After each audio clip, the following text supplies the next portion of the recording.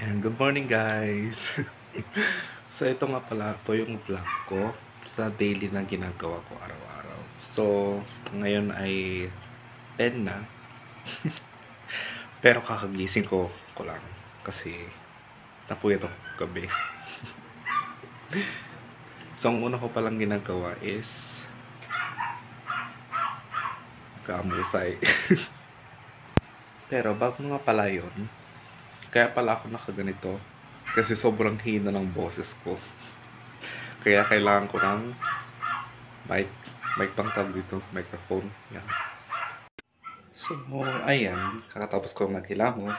At hmm, malapit na naman pala mag uh, 10.30. Which is yung next subject namin ngayong Wednesday pala ngayon. So, siguro may Gmeet kami. Tsaka, oh, di ba, parang walang pinag, walang yung humusay ko. Pero, habang wala pang klase, eh, try ko munang tumulong dito sa bahay. So, ang inuna ko, itong higaan ko, di ba? Oh, ang ayos na. So, hindi na siya madumi. So, ang, ang pangalawa ko naman gagawin ay maghugas sa kusina kasi ang dami nakatambak. Ayan, ito siya guys, so oh, daming nakatambak. So, ayun, na natapos din ako ng hugas. At um, 10.38 na pala, which is um, uh, yung next subject dapat namin ngayon may Gmeet pero nagbigay lang naman gagawin activities. So, due to PM siya, kaya ngayon ko na lang gagawin.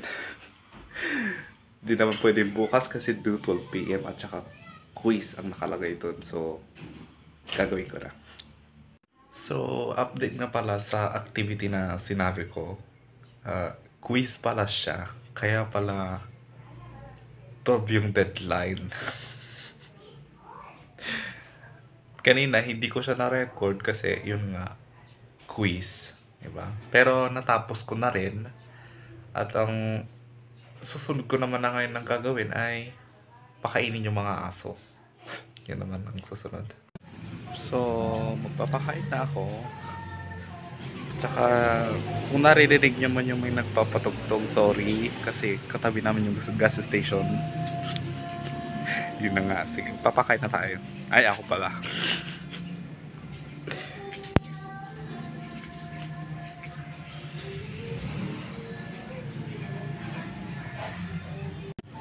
Ito ang papakain na ako.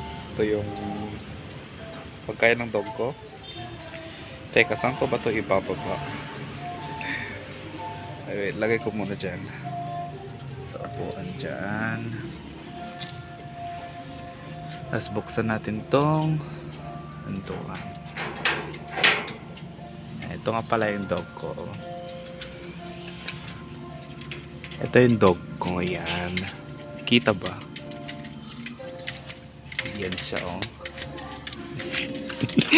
Wait lang, princess ah. Mm, ito yung dog ko. Yan. Yan. Pakainin na natin siya. Kasi kanina pa ako inaantay. Yan. Ito. Yan. Princess. Yan. Pakainin ko lang siya guys. So, ito nga po pala guys. Ang tsura ng labas ng bahay namin. Medyo maliit na garden to ni mama ko. Yan. Ito. Yan. So, ito nga po pala siya. Kung hindi siya makita ng maayos kanina. Andito siya, oh. Princess. Princess. Tingka. Princess. 8 years old na siya. Naging uh, asa namin siya noong elementary pa ako. So, try ko ulit siyang pakainin kasi ayaw na naman niyang kumain. Tsaka, inuuna ko siyang pinapakain araw-araw kaysa sa akin. Char. Hindi, totoo. Pina, inauna ko siyang pinapakain kaysa ako, bago ako kakain. Kasi Marte siya. Ayaw niyang mahuling kumakain. Gusto niya na parating na una.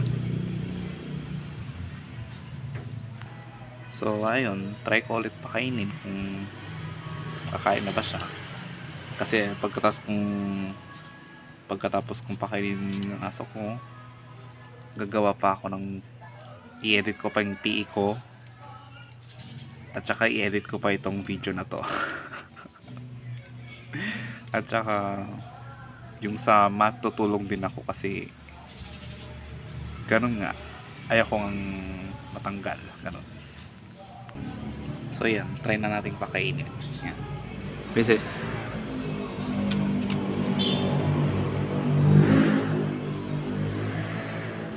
ayaw niya nang kumakain sa bowl. Gusto niyang kinukuha ko tapos nilalagay ko sa kamay ko. Kasi, yun nga, ayaw niya na. Ayaw niya nang kumain sa plato niya. Yun nga. Arte. Pero okay lang. Kasi aso ko naman siya, di ba? Okay lang ba si Princess? Okay lang ba si Princess? Uy, ganda naman ni Princess. Yun siya oh, guys, kumakain na siya. Tapos kukuha ko dito sa plato niya.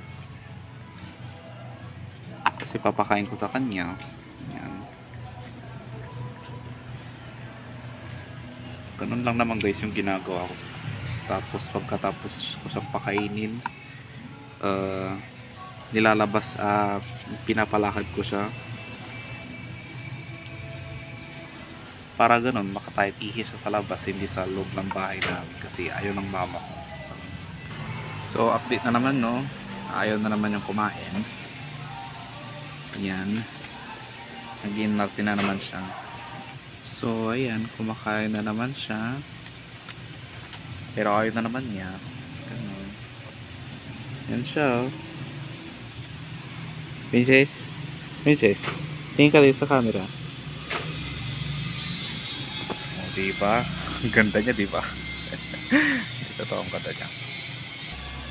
So, na-post ko siya kasi uh, napindot ni Princess yung cellphone ko. Ano, na pinag-edit ko. Pero gano'n, dito lang kami nag, uh, dito lang naman ako nagpapahinga kapag uh, sobrang stress na ako, ganun, sa mga gawain. Kasi dito lang matamang kami dalawa ng aso ko na nagpapahinga. Pag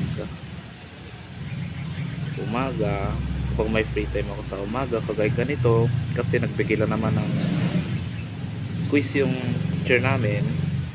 At saka ano dito ko din ginagawa sa labas yung mga dyan.